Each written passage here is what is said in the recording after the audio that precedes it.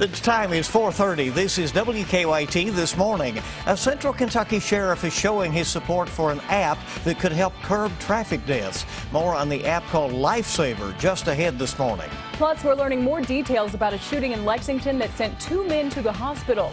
We'll have the latest on that investigation coming up. An Letcher County haunted house has been the target of some vandals. That story and your Kentucky forecast all coming up on WKYT This Morning.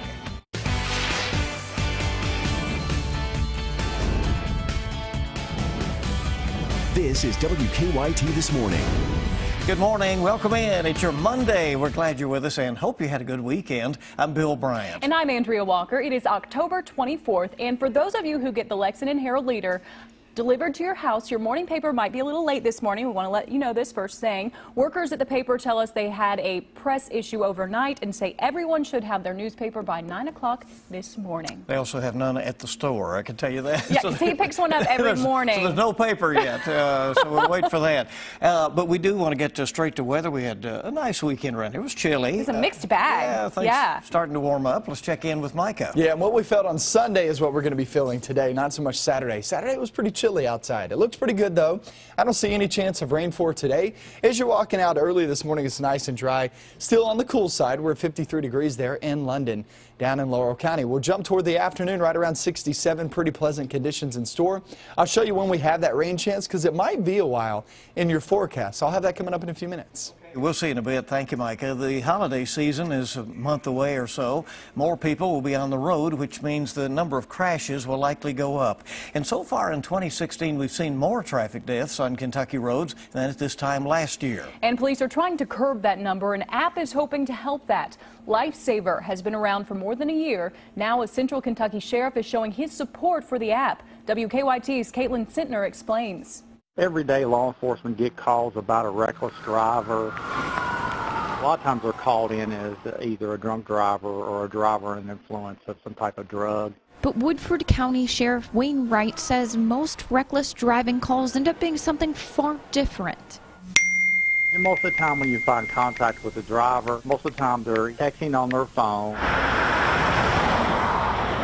It's been a deadly year so far. There have been 623 deaths on Kentucky roadways. That's 30 more than this time last year. Police are doing what they can to cut that number down, but they aren't alone. Last year, it went up 8.8%. First six months of this year, it's up 10%. It's an epidemic. James Howell is one of the brains behind an app called Lifesaver. Its sole purpose is to stop texting and driving. You download a free app, and when the car goes in motion, the GPS blocks the screen on the phone. The catch the app can't be deleted by, let's say, a teenager without their parent being notified. It's a great tool. The app is starting to get attention from law enforcement. Sheriff Wright is standing by this app and says he just wants to see kids get home safe. It also gives, you know, hopefully comfort to not only the parent but also other motorists and drivers, knowing that young teenagers are not going to be distracted by texting or emailing, uh, talking, uh, you know, Twitter or whatever, whatever they choose to, to communicate now. In Lexington, Caitlin Sentner, WKYT. The Woodford County Sheriff is taking the app in front of the Kentucky Sheriff's Association Board next month. He's hoping they too will support it. We now know the names of two men who police say were shot in Lexington last week. Police say the shooting stemmed from a robbery. Police say the men were shot on Thursday night at a home on Red Mile Road. Demetrian Boaz is charged with first degree robbery. And according to court documents, Boaz and others, two others, held two people at gunpoint until someone else fired shots at the suspects. The documents go on to say that one of the victims, Robert Record, was shot once in the back on accident. The second victim, Saquon Freeman, was shot five times. Police say Freeman is still in serious condition. Record is expected to be okay.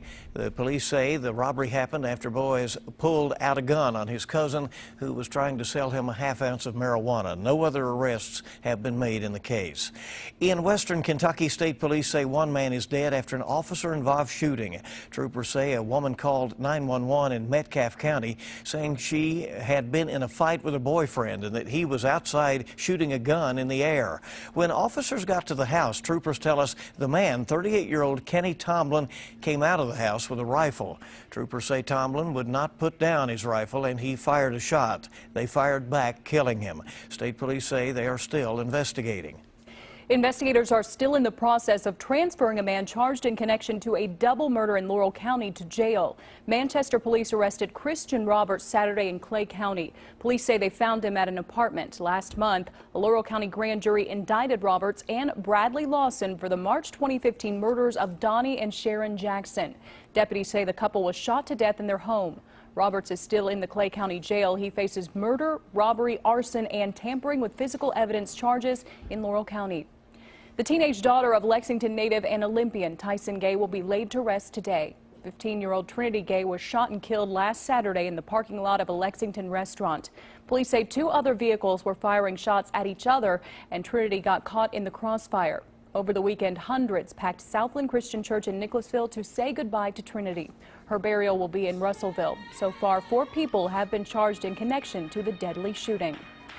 We learned that Ohio's Attorney General has approved more than $20,000 to help pay for the funerals for three of the eight family members found dead earlier this year in Pike County. Seven adults and a teenager were found near in April near Piketon, Ohio. The Ohio, the state's Ohio Victims of Crime Compensation Program is giving $7,500 towards funeral costs for two of the young adults and the teenager. The state already paid about $7,300 to help cover other funeral costs. The murders are all still unsolved. Investigators in Southern California are trying to figure out what caused a tour bus to slam into an 18-wheeler truck early yesterday morning. The California Highway Patrol says 13 people were killed and at least 31 were injured. CBS's Chris Martinez has the latest on that investigation. A crane was needed to separate a tour bus and tractor trailer on Interstate 10 in North Palm Springs, California. The bus plowed into the back of the truck very early Sunday morning. In almost 35 years, I've never been to a crash where there's been 13 confirmed fatal accidents. So it's tough. A survivor told police most of the passengers were sleeping at the time of the crash. First responders used ladders to reach the victims because the door was inaccessible. The trailer itself entered about 15 feet into the bus. So you can see that it was a substantial impact. The bus was traveling significantly faster than the tractor trailer that it struck from behind. The bus driver died in the crash while the truck driver was injured, as were dozens of bus passengers. It seemed as though most of the victims were unrestrained and therefore were flown through the air and ended up sustaining facial trauma. The bus was heading west on I-10 back to Los Angeles from a casino near Palm Springs. Police say the 1996 bus was inspected earlier this year. And no mechanical deficiencies were noted. Federal records show the bus company involved owned one bus and had one driver. Chris Martinez, CBS News, North Palm Springs, California. And records also show the company had a satisfactory rating. The National Transportation Safety Board is sending a team to California to investigate. We have learned that three elementary school age children who were hit by an SUV at a bus stop in Louisville here in Kentucky are slowly recovering. Police say a 10 year old boy and a 9 year old girl, who are brother and sister, and an 8 year old boy were rushed to the hospital after the crash. A Louisville TV station reports that the 8 year old has a broken femur as well as a bruised lung and pancreas and a concussion. His family says he will need physical therapy and he's learning to walk with a walker right now. The driver of the SUV was also taken to the hospital. He has been charged with not having insurance or a registration. Four people are recovering after a crash in Lexington. Police say a Hyundai Santa Fe was turning onto Tates Creek Road from Old Dobbin when it was hit by an GMC Jimmy yesterday morning. Both SUVs ended up in the median of Tates Creek. One person in the Santa Fe and three in the GMC, including two children, were taken to the hospital. Police say all of them have non-life-threatening injuries. Deputies in southern Kentucky are looking for a woman wanted for passing fake money. The Whitley County Sheriff's Office posted this photo of the woman they're looking for. They say she is responsible for passing counterfeit $100 bills to two businesses. Deputies say the phony bills showed up in Corbin, Williamsburg, and even the Sheriff's Department. The bills passed the marker test but did not have the plastic vertical strip that runs across new bills. A Letcher County haunted house has been the target of some vandals. Organizers of Brimstone Haunted House in Whitesburg say the latest incident happened Saturday night. They say multiple people surrounded the building and started throwing large rocks and sticks, damaging boards on the windows. No one was hurt, but there were volunteers and visitors inside at the time. Each year, the haunted house donates all of its proceeds to charity. Organizers are trying to figure out why someone would want to target them. I really don't think that it was random. Uh, I think we were targeted, obviously, because this has been happening this entire season, and I think that they're just mad at the fact that we still not quit. But last night it was a bit much, you know, with the kids inside and everything. It was uh, there was a major line crossed. Police came out to the haunted house and they stayed there until 2 o'clock in the morning. When it closed, they are still investigating the incident a mystery at the haunted house. I know, yeah. isn't that unfortunate? it is, you know, trying to have some fun, right? Yeah. Time this morning is 441 on WKYT, and it's so good to have you with us. We're just uh, getting underway here. It's fast and it's fun, and we'll see how competitors challenge their mind and bodies in an unusual bike competition in Louisville. That story coming up right after Micah's forecast. Pretty nice conditions as we head throughout the next few days, but once we hit mid and late week, we'll start to see a couple fronts roll on through that will not only give us rain chances, but much cooler conditions once again. We'll have all that coming up next. Now, your hour by hour forecast with meteorologist Micah Harris. We have 55 degrees right now in Frankfort in the capital city. So as you're walking out early this morning, it's a little bit on the cool side, but it's not overall cold outside. We've had way cooler conditions this past weekend. This past weekend, we actually hit 30s in a couple of spots. Not everybody actually saw those or felt those, but uh, nonetheless, we're getting a little bit warmer as we go throughout the next few days. Lexington coming in at 57 degrees early this morning and staying dry. Nothing on Defender Radar Network, and really, you won't see anything for the next three days. Got to get toward your Thursday and Friday to actually see a front roll on through. So the next few hours, here's what we're going to be dealing with. We get in toward the afternoon, and we'll be seeing those temperatures right there in the mid to upper 60s. So these are normal temperatures for this time of year, and it actually doesn't feel that bad when you're in the mid to upper 60s for this time of year. Remember, it's all about perspective. And we get off toward midweek. Wednesday, I really don't see much going on on Wednesday as of right now. We'll see if the system speeds up, but as of right now, it'd be Wednesday night into Thursday that we start to see the rain move on in. And so then the front moves through on Thursday off into Friday. So there will be a bit of a change as we head towards your mid and late week. That's not the only cold front that we actually have. We actually have another one come up on the weekend. So the breakdown of this forecast is really overall, it's pretty pleasant forecast, but once we get toward Thursday, that's when we start to see some rain push on in. And like I said, if it speeds up, it may be before midnight there on Wednesday. We'll see if that changes, but as of right now, it's really after midnight going into toward Thursday morning. And then on Friday, there's really not a drop of temperatures. This is mainly just a rain a cold front that's going to be moving on through. And you'll feel the difference there towards your weekend, though, because we actually have another cold front that's going to be passing on through there on Saturday off into Sunday. So temperatures will start to drop on Saturday just due to the fact there's rain out there, not so much cooler air.